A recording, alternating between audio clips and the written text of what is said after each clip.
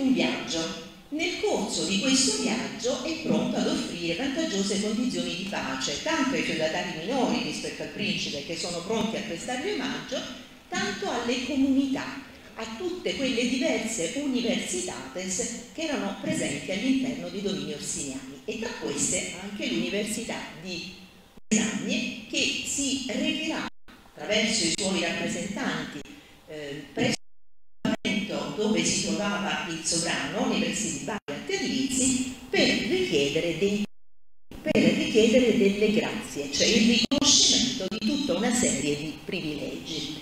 Le fonti ci dicono che nel corso di questo viaggio Ferrante veniva accolto con tanta allegrezza e festa, queste sono le parole utilizzate dai eh, dagli oratori sforzeschi che riportano ai loro diciamo, governanti, eh, descrivono cosa sta accadendo in questo particolare momento per il regno che vede nuovamente eh, diciamo, la vittoria del sovrano sui diversi feudatari ribelli, incluso il principe. Ma vediamo Mesagne perché in questo momento eh, un aspetto importante è che tra la data di morte del principe che avviene intorno al 15 novembre, e il gennaio 15 novembre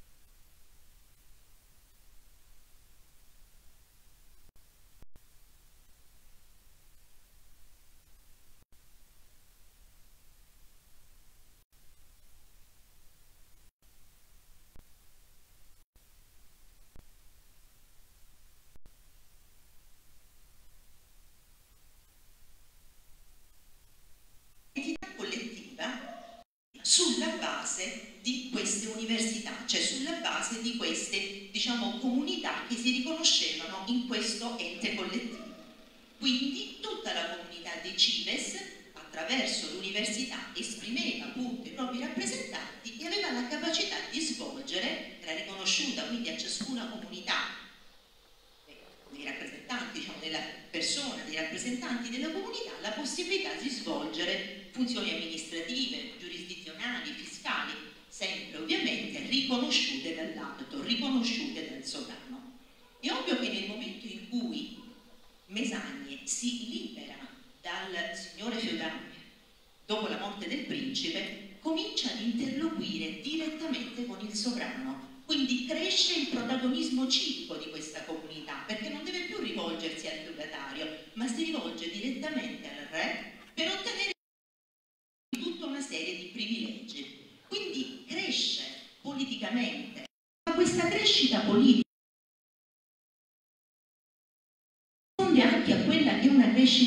sociale, economica, perché ovviamente nel momento in cui diversi gruppi sociali esprimono le proprie rappresentanze vuol dire che c'è comunque una crescita che coinvolge l'intera comunità eh, di Mesagne e questo lo si vede anche tutta una serie di richieste che l'Università di Mesagne farà in relazione al proprio territorio perché ci sarà questa tendenza a voler controllare anche il territorio intorno a Mesagne.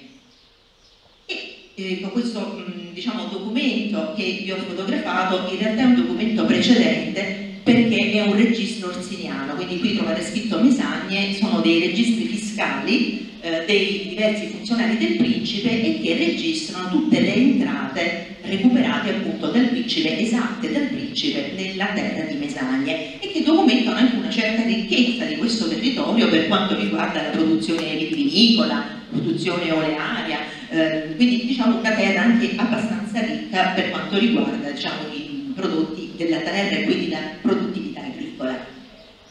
Ancora, la divisione in università, l'organizzazione in università viene anche vista come la base territoriale del prelievo fiscale, perché come vi ho detto sia il principe, ma lo farà anche il re, considererà l'università come quell'ente collettivo in grado ovviamente di contribuire, di essere tassato e quindi di versare le imposte alla eh, Regia Camera della Somalia che era l'ufficio preposto alla riscossione delle imposte della eh, della, eh, della corona.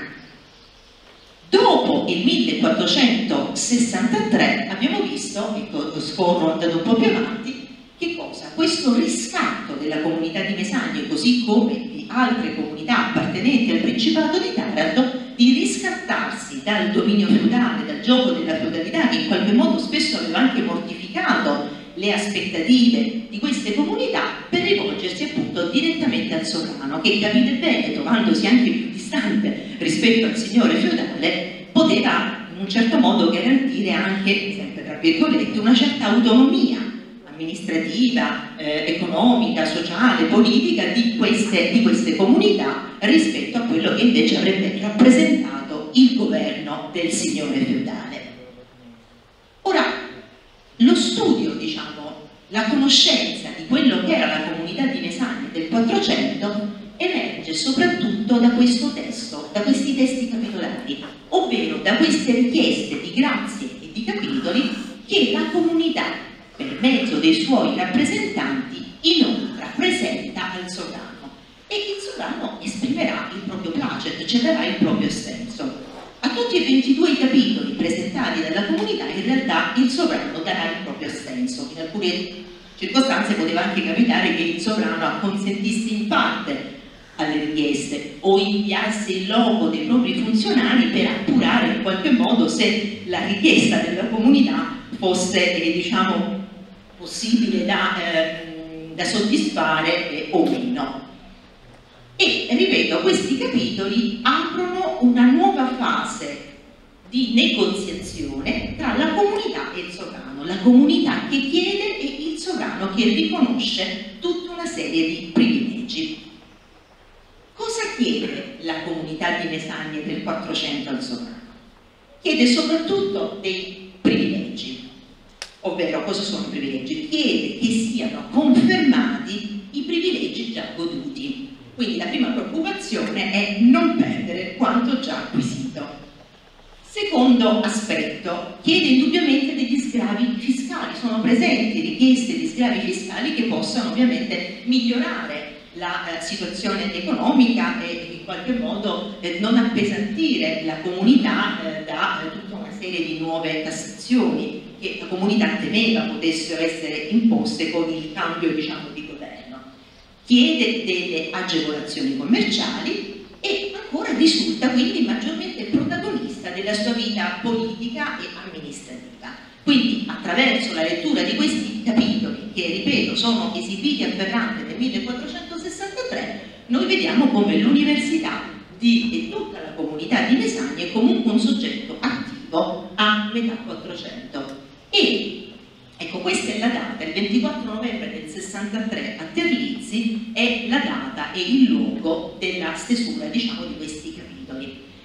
O meglio, le richieste sono confezionate in loco, i rappresentanti dell'università, prima di recarsi al sovrano, stilano questo elenco di richieste che poi sottoporranno al sovrano. Però, come vi ho detto, tra le diverse comunità appartenenti agli ex domini orsiniani, Mesagne si muove abbastanza celermente, quindi neanche dopo dieci giorni è pronta a rendere omaggio a Ferrante e a presentare queste richieste di capitoli. Sono i delegati dell'università che si recano in campo eh, a Terlizzi dove è allestito il campo del sovrano con tutta la sua corte curia itinerante. Come fonte i capitoli sono molto importanti perché a differenza di altri testi normativi che presentano che cosa? L'imposizione della norma che viene dall'alto, i capitoli invece sono che cosa? Sono il risultato di una norma proposta dal basso, perché se voi, ecco, se sono stata chiara nel, nel presentare questo aspetto, cioè queste norme sono scritte dalla comunità, in base alle esigenze, in base alle aspettative della comunità e poi successivamente sono sottoposte al sovrano che ovviamente le approva. Che tipo di richieste sono, ripeto, perché in base alle richieste noi ricostruiamo com'era la vita a Mesagne metà del, alla metà del 400, rispondono alle necessità del centro, alle indubbie pretese di ripresa economica, aspettative di ripresa economica. Perché di ripresa economica? Gli anni immediatamente precedenti alla morte dell'Ozzini avevano visto tutto il regno devastato da una guerra. C'era stata la guerra di successione al napoletano, tra lo schieramento angioino e lo schieramento aragonese, quindi in qualche modo tutti i territori del regno avevano risentito di questo stato di guerra, quindi era necessario per le comunità chiedere almeno degli sgravi fiscali proprio per favorire una ripresa economica. Ancora, dietro questi capitoli noi possiamo leggere la vocazione produttiva del territorio, perché è ovvio che di dove vengono richiesti degli sgravi fiscali in relazione alla produzione olearia o in relazione al trasporto del vino, eh, noi eh, ricostruiamo che cosa? Quella che era la vocazione produttiva della terra di Mesagne. Ancora, quindi gli obiettivi principali che la comunità vuole raggiungere portando questi capitoli eh, diciamo, all'approvazione del sovrano sono, come ho detto prima, conferma di privilegi già goduti, nuove concessioni e reintegra di possessi e diritti perduti. Questo cosa vuol dire? Molte delle famiglie mesagnesi all'epoca si erano schierate a favore di Ferrante ma contro l'Orsini. Questo aveva comportato la confisca dei beni a quanti in qualche modo non si erano votati al principe. Quindi il principe aveva privato queste famiglie di beni, di, di immobili, immobili vari e quindi a quel punto, morto il principe, la collettività, la comunità chiede che chi è stato privato di questi beni e dei diritti perduti possa ritornarne in possesso. Con questa slide una precisazione, vedo anticipato, io parlo di terra di Mesagne. Allora, perché terra e non città o non casale? Cosa distingue questi termini e a cosa risponde il eh, termine terra? Nella documentazione medievale noi possiamo trovare il termine città, città. Allora, il termine città nel Medioevo è sempre utilizzato per quei centri che sono sede di cattedra vescovile, quindi la città di Brindisi, la città di Oria, perché sede di cattedra vescovile. Centri invece meno estesi, anche se non è detto questo, rispetto alla città, potrebbero essere meno popolosi o potevano offrire minori servizi, sicuramente rispetto alla città, rientravano nella definizione di terra però la terra, attenzione, è molto più vicina alla città che al casale, perché la terra ha solitamente una struttura fortificata, ha delle mura, una rocca, quindi garantisce a coloro che vi abitano una maggiore difesa rispetto invece a quegli insediamenti sparsi che i documenti riportano sotto la voce di casale, borgo, villaggio, dove abbiamo che cosa? La eh, nascita spontanea di abitazioni l'una accanto alle altre, ma senza che ci sia diciamo, una struttura difensiva. Quindi questo per entrare in merito al perché, come mai accanto al eh, centro di Mesagne noi troviamo sempre la, eh, il termine di terra. Ora, qui invece vi ho riportato la foto del Liberforum. Cos'è il Liberforum? È un registro di metà 400, c'è chi lo data al 1443, chi lo data al 1447, ma l'epoca è quella, che comunque riporta il computo dei fuochi, cioè il computo delle unità familiari che contribuivano al pagamento delle tasse all'interno di ciascuna comunità. Se voi date uno sguardo ai numeri che ho riportato, ecco quello che può sembrare strano è che tra le città sono indicate ovviamente nell'area intorno a, eh, a Mesagne, stiamo parlando di un'area di circa 1400 km quadrati che abbraccia tutto il territorio, eh, che vede proprio Mesagne al centro di, questa, eh, di quest'area, quindi Brindisi, Ostuni e Oria, che sono città presentano un numero di fuochi, tanto messo i numeri, 268, 230, 277, seguono poi le terre, Mesagne, Francaviglia, Ceglie, Carovigno e poi i casali, cioè quegli insediamenti non fortificati, aperti, che sono per l'area di cui ci stiamo occupando San Vito, Torre Santa Susanna e Ladiano. Bene, balza agli occhi che il numero di fuochi, quindi il numero di famiglie censite per Mesagne, sia addirittura superiore a quello di Brindisi.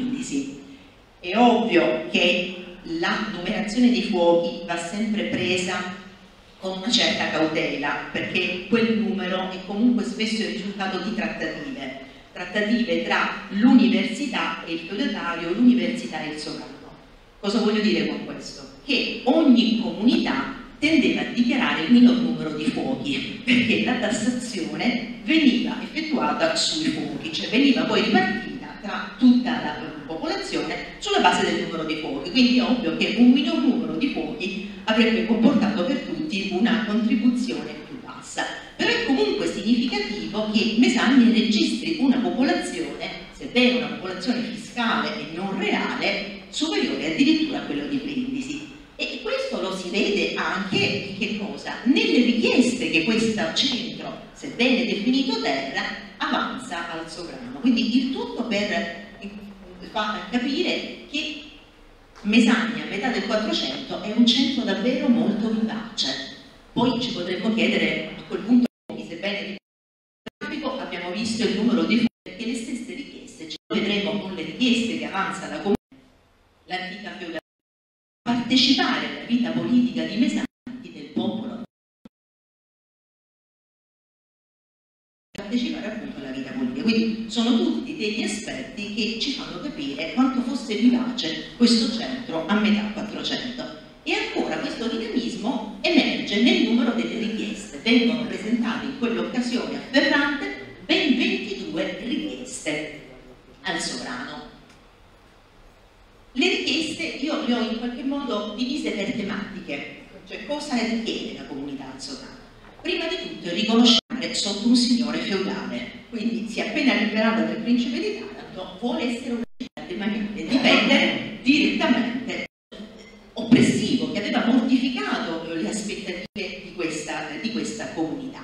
E in virtù diciamo, di, della demanialità la comunità di Mesagne contava di godere di una maggiore autonomia o meglio più che autonomia di maggiori spazi di manovra perché il termine di autonomia può andare ad una forma di eh, completa eh, indipendenza rispetto al sovrano dobbiamo ricordarci che siamo sempre all'interno del regno quindi più che autonomia certamente maggiori, più ampi spazi di manovra da parte del, dell'universitas.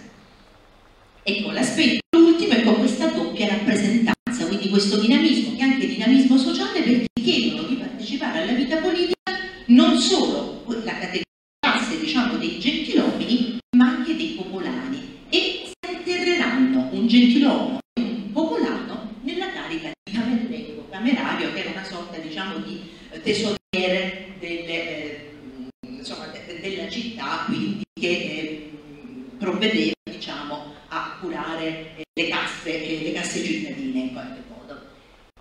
Un'altra tipologia di suppliche, quindi abbiamo diviso queste 22 suppliche per temi affrontati, sono delle suppliche che evidenziano le critiche nei confronti del governo precedente, quindi in qualche modo le, diciamo, quelle della richiesta della demanialità viene vista come la scelta positiva eh, favorevole per il miglioramento della comunità rispetto all'appartenere ad uno Stato feudale. E quindi sono delle suppliche critiche nei confronti del governo di Giovanni Antonio perché vengono chieste diciamo, l'abolizione di alcune imposizioni volute proprio al tempo degli Orsini.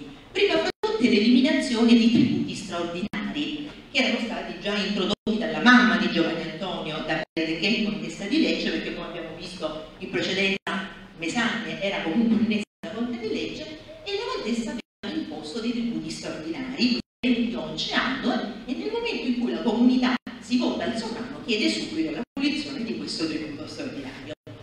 Altro aspetto, il recupero dei beni confiscati. Lo avevamo detto che comunque il principe aveva confiscato tutta una serie di beni a coloro che si erano opposti alla sua linea politica.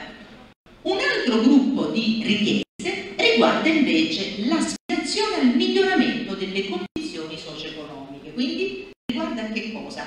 La, eh, la ripresa la volontà di eh, sviluppare un'economia ancora più, ancora più dinamica. Tra questo c'è cosa? L'esenzione di un tributo di tre anni. Cioè, in di queste fiere franche e mesagne soltanto a partire dal 400 ma io tenderei a escludere che sia stato Federico II emesso negli anni 20 del XIII secolo e 400 d'Italia, consente la celebrazione delle fiere, di la fiera, ma anche di operatori che venivano dalle diciamo, province limitrofe, da altri territori del regno, ma anche operatori economici extraregnicoli. Quindi nel corso delle fiere abbiamo presenze di veneziani, di ragusei, di genovesi, quindi anche di eh, diciamo, eh, commercianti, di operatori appunto provenienti al di fuori del regno. È ovvio che durante le fiere si vendeva anche una maggiore varietà di prodotti, non solo prodotti agricoli, non solo prodotti locali,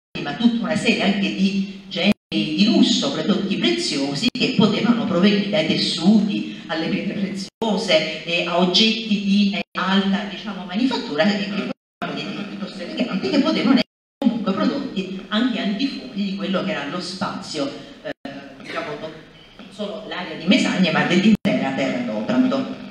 Per la fiera era anche necessario disporre di maggiori spazi, perché ovviamente il maggior numero di espositori, maggior numero di partecipanti richiedeva ovviamente una, eh, spazi molto più ampi, per questo anche la scelta di questo piazzale antistante, quello che sarà poi il futuro convento dei carmelitani, perché offriva gli spazi giusti per allestire appunto una fiera.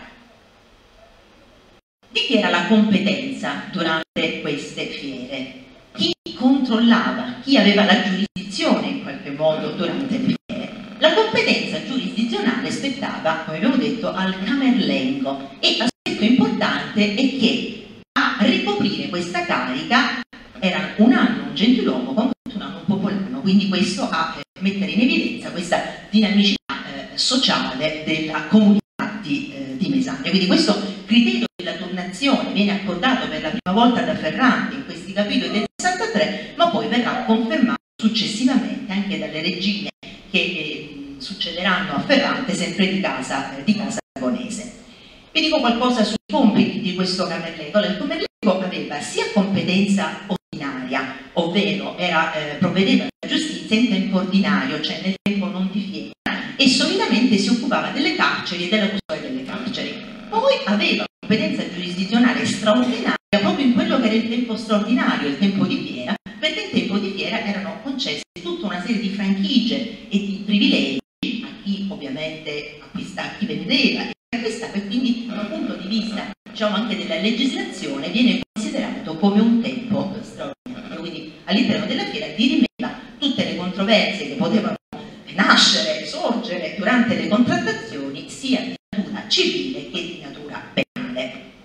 Riguardo alle fiere di Sant'Angelo sono sempre questi capitoli e questa documentazione dare tutta una serie di informazioni anche sulla datazione, cioè i, i giorni di fiera, perché quando nel momento in cui richiesta la concessione di una fiera sappiamo anche quando inizia e quando finisce, perché lo sappiamo anche questi sono i giorni che, che, nei quali il camerlengo esercita la propria carica di maestro del mercato, prende il nome di maestro del mercato. E la fiera va, la prima fiera di autunnale, diciamo, dal 26-27 settembre alla mezzanotte del 4-5 ottobre. Queste sono le date, diciamo, della prima fiera, mentre sempre alla mezzanotte del 6-7 maggio alla mezzanotte del 15-16 maggio si svolgeva l'altra fiera dell'Angelo come veniva avvertita la popolazione attraverso una serie diciamo, di ehm, c'era lo scoppio di un mortaio, c'era il rullo di un muro e poi nei giorni di fiera venivano iniziate le insegne, tanto regge, perché siamo ovviamente in un momento in cui la città è città reggia, città demaniale, tanto eh, le insegne dell'Universitas. Queste sono le altre fiere mesagnesi, delle quali però non, è, non sono riuscita a ricostruire la data di istituzione, cioè noi sappiamo che veniva celebrata sempre a fine 400 e inizio 500 la fiera di San Paolo, franca per due giorni, perché sappiamo che nel 1510 la regina Giovanna III prolunga la durata della fiera da due a otto giorni, quindi ovviamente immaginiamo che fosse celebrata prima del 1510 ma che si svolgesse soltanto per due giorni, però non sappiamo quando fu realmente istituita. Stessa cosa per la fiera di San Lorenzo che si teneva il 10 agosto in occasione dei festeggiamenti di San Lorenzo e una terza fiera che celebrava la terza domenica di novembre nella piazza del municipio. Ecco, è significativo che in un centro si celebrassero ben cinque fiere, anche questo è un aspetto che richiama l'attenzione di chi eh, diciamo, studia questa comunità perché è, è sempre indice di una significativa vivacità economica sicuramente le fiere di Mesagne non venivano frequentate soltanto dai mesanesi, quindi sicuramente erano degli appuntamenti importanti che richiamavano gli operatori economici come minimo dell'intera provincia di Terra Totato.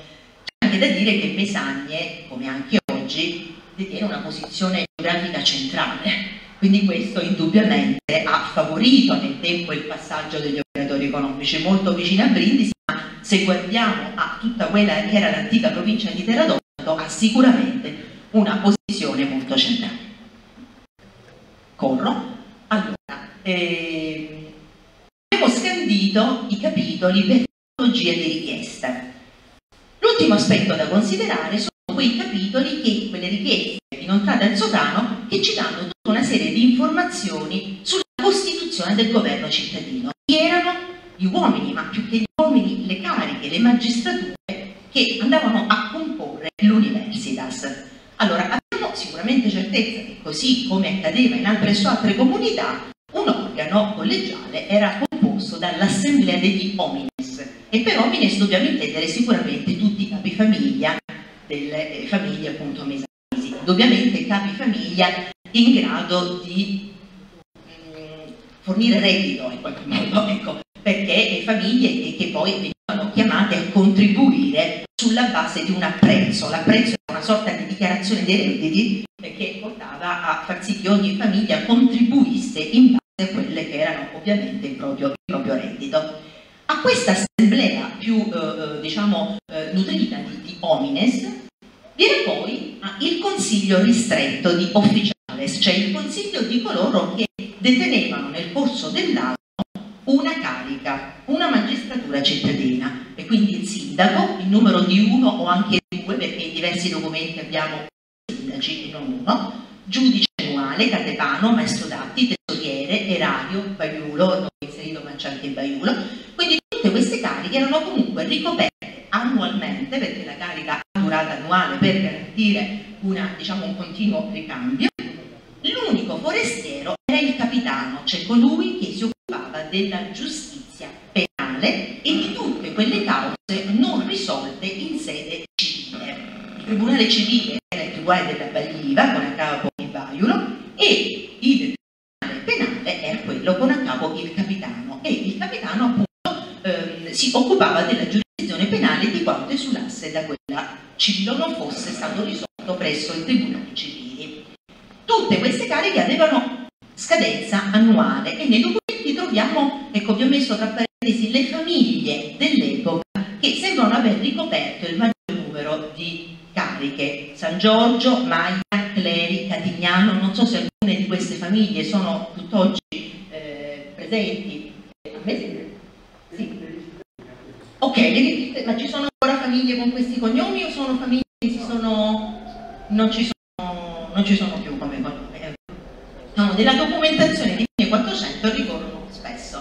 Vabbè, qui eh, vi ho risintetizzato i compiti del capitano. Ecco, un altro aspetto eh, su cui voglio puntare attenzione è il teatro. Cioè, questi consigli, sia il consiglio più allargato che il consiglio più ristretto, si ritrovavano in un particolare luogo che le fonti ci dicono fu costruito nel 1465. Si parla di teatrum. Quando noi nei documenti troviamo il termine teatrum, questo termine può avere due significati o indicare la piazza, il foro, quindi lo spazio eh, nel quale avvenivano queste riunioni, però uno spazio aperto, oppure indicare un edificio all'interno del quale si tenevano queste assemblee, prende il nome di teatro, tocco, seggio, sedile, ecco. Quindi il documento è del 1465, ma non penso sia sopravvissuto, poi qui c'è il professor Urgesi, nulla di questo, eh, di questo edificio, di questo luogo di riunioni che sarebbe probabilmente, eh, possiamo immaginare, fosse anche soltanto uno spazio aperto, un forum, più che un teatro. Quando però in quelle comunità che hanno invece conservato la struttura architettonica, questa struttura era solitamente realizzata su due piani, un loggiato al pian terreno e nel, nel, al primo piano di solito vi era la residenza del capitano, perché essendo diciamo, un funzionario forestiero veniva ospitato dalla comunità proprio all'interno di questo edificio e qui si tenevano diciamo, le assemblee. Questo grosso modo, in sintesi, la natura di questi capitoli, cosa la comunità chiede a Ferrante, momento dedicato per il mezzogiorno, ma soprattutto per queste te le terre del Principato di Taranto, perché avviene appunto il passaggio dalla feudalità, dal, da, un, da uno stato feudale alla demanialità.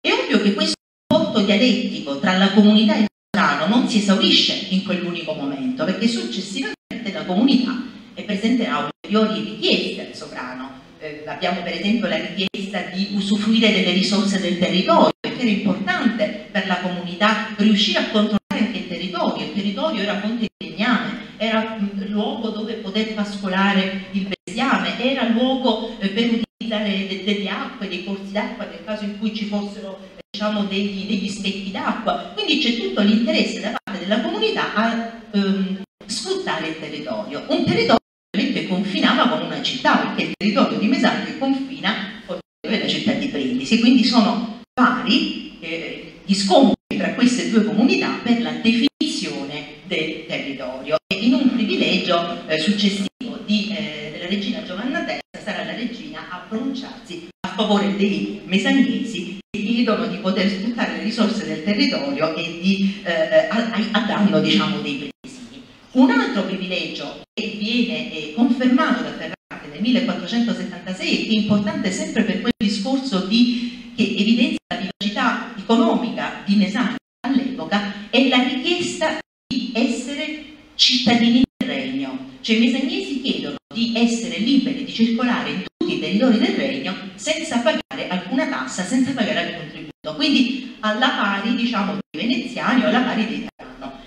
Partire dal 77 rientrerà invece nei domini delle regine di Casa Dragona, perché Ferrante dona la contea di Lecce e con la contea di Lecce sempre anche Mesagne alla sua seconda moglie Giovanna III. Quindi tutta quest'ultima fase, dal 1477 al 1520, vede sì Mesagne legata sempre ai domini di Casa d'Aragona, ma non sotto il controllo del re, ma bensì delle regine. Questo viene confermato anche dalla Venezia sul litorale adriatico e comincia a minacciare il, eh, il nostro territorio, l'area di soprattutto l'area adriatica. Sappiamo che viene occupata Gallipoli, che viene occupata Nardò. Quindi a quel punto il figlio di Ferrante, che era luogotenente della provincia di Bari e della provincia di Terra d'Orlando, impone a tutte le comunità un tributo straordinario per difendere questo territorio. E i mesagnesi vengono chiamati a contribuire per difendere la città di Brindisi da eventuali attacchi. Ovviamente i mesagnesi non, non accolgono questa imposizione positivamente, si rivolgono alla regina e chiedono di esserne esentati. E questo rapporto privilegiato tra la comunità e Napoli, tra la comunità e la regina, farà sì che verranno esentati da questo tributo straordinario. L'ultima richiesta è quella, ve l'avevo accennato, questa questione di confini che porterà nuovamente la regina a eh, esprimersi a favore dei mesagnesi contro, le, eh, contro i presidi. Questi diciamo sono gli ultimi, eh, gli ultimi privilegi, ma non entro nello specifico. Ehm, L'unico aspetto che vi dicevo è che dal 1476 la comunità è sempre legata alla casa regnante, ma bensì al governo delle regine. Prima Giovanna III e poi Giovanna IV. Gli ultimi anni, tra il 1517 e il 1518, è la regina Giovanna IV che è signora diciamo, di questo territorio della Contea di Lecce con la Contea di Lizia anche della terra di Mesagne. Questa è la slide conclusiva, questa data, il 27 agosto del 1518, è significativa perché muore la seconda delle due Giovanne, Giovanna IV, e a questo punto la corona, e non è più corona aragonese, ma è corona spagnola, perché nel frattempo la Casa d'Aragona eh, è stata diciamo, sconfitta guerre tra Francia e Spagna che hanno avuto teatro proprio nel regno eh, del mezzogiorno d'Italia, nel regno di Napoli, e quindi la corona passa a Ferdinando il Cattolico, passa agli spagnoli. Morta la regina, perché le regine continueranno comunque a detenere la signoria su Mesagni, come l'intera eh, contea di Lecce, la regina Mesagni nuovamente incamerata dalla corona. E a partire da questo momento però si chiude di lì a poco la storia, diciamo, eh, il legame con la corona, perché il sovrano spagnolo per rinviare le vende il feudo di Mesagne e nuovamente verrà concessa ad un signore il primo signore, perché poi se ne susseguiranno diversi in epoca diciamo moderna, il primo è Alfonso Beltramo, che acquista il feudo di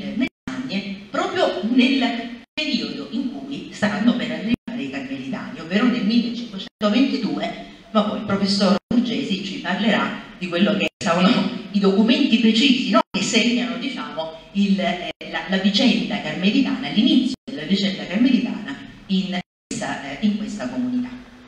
Vi ringrazio per l'attenzione e spero di non essermi dedicato a tempo.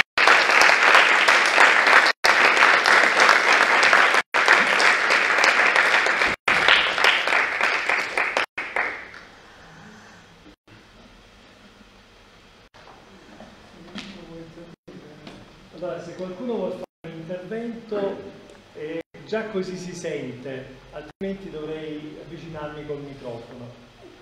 Per non, eh?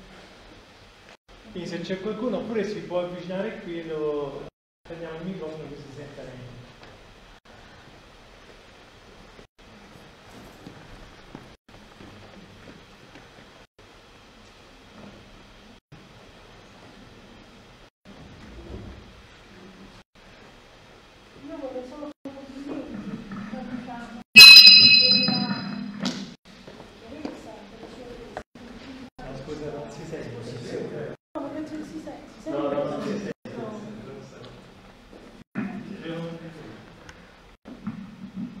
Allora, io voglio soltanto fare i complimenti a Luciana eh, per, appunto, per la bellezza della sua relazione, eh, approfondita, chiara, sintetica. Veramente faccio i miei complimenti, insomma, non ci sono domande purtroppo. Grazie, davvero grazie. Poi detto comunque da, da una collega insomma, che io ho, ho stimato sempre nel percorso universitario, mi fa davvero molto piacere. Quindi.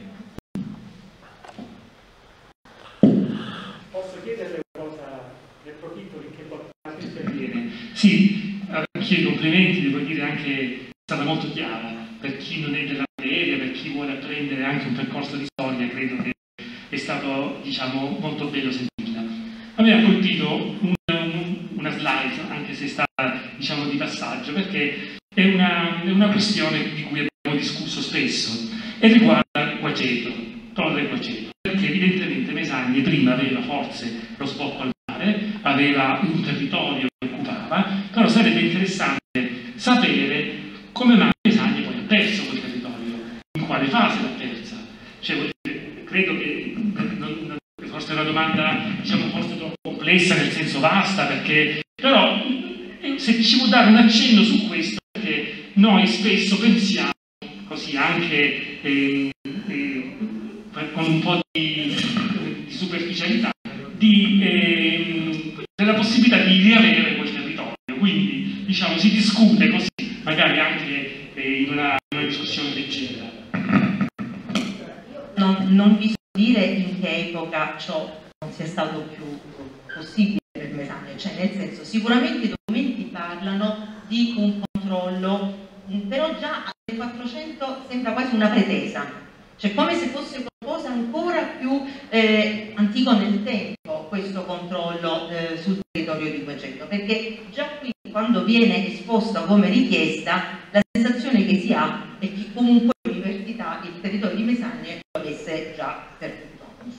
Però il 400 è una fase dinamica da questo punto di vista, perché non è un problema che riguarda solo Mesagne, cioè tutti i diversi centri ambiscono ad estendersi sul c'è chi ce la farà di più, c'è chi ce la farà di meno. Per esempio se noi oggi guardiamo il territorio di Nardò, eh, nel tempo ha eh, sempre mantenuto questo territorio molto esteso, ma non sono mancati casi in cui stava lì, lì per perdere alcuni insediamenti. Quindi dire che magari alcune comunità siano state più tenaci in questo, è possibile, però io non riesco a tradare il momento in cui effettivamente si sia perso questo controllo sul territorio, perché soprattutto nel Medioevo questi territori erano piuttosto fluidi e non soltanto per le città, ma anche pensiamo agli stati feudali, anche gli stati più estesi mutano spesso i confini per tutta una serie di, eh, di vicende e spesso anche per usurpazioni indebite da parte di eh, comunità limitrofe o di signori limitrofi. Sì, una domanda le faccio io. Lei ha detto che sociale la vita della, della terra, della città. La città ha cercato sempre di eh, migliorare no? la sua posizione, non soltanto a livello economico ma anche a livello sociale. No? Ecco, questa vitalità, lei poi ha detto che la città è al centro un po' della terra d'Otrant, no? quindi la sua posizione era favorita rispetto La realtà, eh, diciamo, intorno alle altre città, perché non erano così eh, vitali? Era una prerogativa di Mesagne perché le persone che la formavano avevano questo tipo di, eh, diciamo, di attitudine, oppure c'erano nelle altre realtà ma non potevano per altri motivi? Guardiamo l'area ehm, intorno a Mesagne, contemporaneamente cresce per esempio anche molto la comunità di Francavilla, perché Francavilla è un borgo nuovo, un centro che si sviluppa all'inizio del 300 e cresce ai danni ad esempio di un centro antico qual era Oria, quindi queste dinamiche di sviluppo o di inviluppo potevano essere eh, diciamo, eh, frequenti. Sicuramente questi centri del Brindisino crescono anche perché non è un'epoca positiva per Brindisi. Sicuramente incide molto il fatto che il 400 segni per Brindisi un'età di declino rispetto a quella che era Brindisi in età sveva e quindi hanno beneficiato questi grossi centri che se noi anche facessimo un confronto col Basso Salento non troviamo realtà efficaci nel Basso Salento ma perché l'insediamento nel Basso Salento no?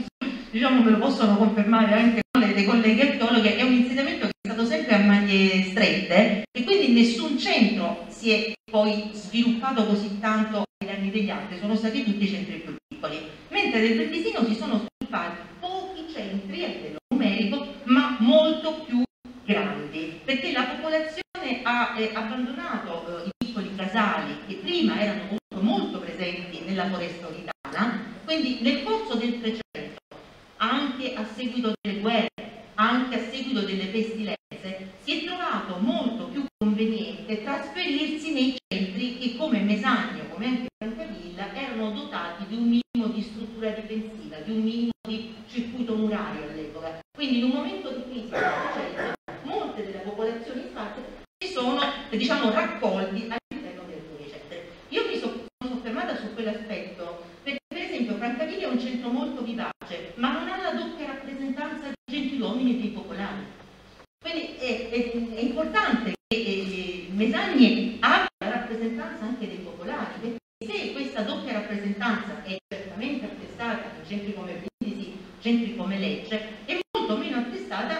ofrecer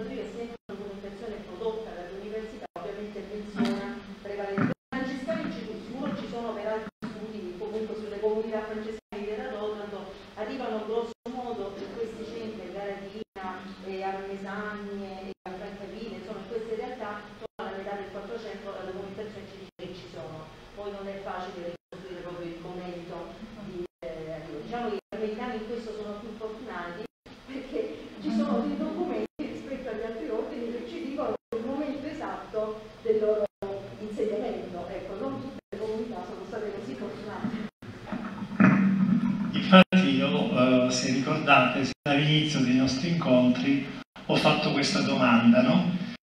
Con altre presenze religiose, no? Forse più conosciute anche di noi, perché noi carmelitani siamo, eh, siamo conosciuti per, per eh, l'ascolto della parola, la preghiera, la nostra fraternità, no? E- però devo dire che i francescani erano molto più conosciuti, no? Eh, per la loro povertà, per, eh, diciamo anche per l'aspetto gioioso della vita e quindi forse avevano più eh, possibilità di noi di inserirsi in un contesto sociale, no? E il fatto appunto di avere questa possibilità che come carmelitani siamo stati invitati a venire a Mesagne e questa diciamo la, la domanda che vi facevo, perché proprio i carmelitani, no? Perché c'è questo, questo preferire da parte sia delle universitas che della, del clero mesagnese di questo gruppo di religiosi. Allora, io, io questo, a questo non posso rispondere perché sicuramente però nel 400 molte comunità accolgono ordini religiosi anche su richiesta del feudatario, perché spesso sono anche i signori e questo rapporto particolare eh, esiste soprattutto con i francescani, perché molto spesso è quel signore feudale che eh, destina eh, una eh, struttura e quindi si fa diciamo, promotore dell'erezione di un convento per ospitare una comunità francescana. Si vedono per esempio i francescani a Santa Caterina Caterina Galatina e lì è stato diciamo Raimondo il Bardo, quindi in molte realtà eh, del mezzogiorno sono anche i signori. Qui è particolare perché non c'è al momento un signore, c'è effettivamente la comunità e Messagna al momento del loro arrivo è demaniale, è demaniale, è in una fase demaniale. Eh, sta cambiando, però è, è da poco, non c'è ancora questo forte legame tra il signore e la comunità, accade tutto in, in quegli anni insomma. Grazie, io volevo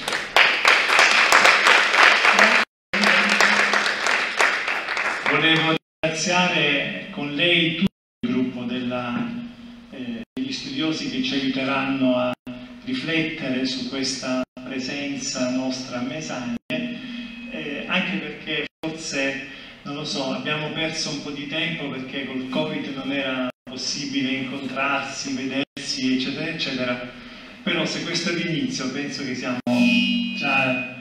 eh, in un buon cammino e speriamo di poter a fine di questo cammino possiamo presentare un testo che ci aiuti non soltanto a eh, ricordare, ma che ci aiuti anche a saper leggere tante realtà che passano attraverso tante presenze, perché non è soltanto la presenza carmelitana, ma come ci ha detto stasera in modo magistrale, è anche l'esperienza di una città che è vitale e che vive vari passaggi storici e che ha le idee chiare su tante cose, questo penso che sia molto importante. E le do questi fiori a nome della nostra fraternità carmelitana, a nome del comitato scientifico e soprattutto del mio priore provinciale per ricogliare che la saluta e si scusa di non poter essere presente questa sera qui con noi.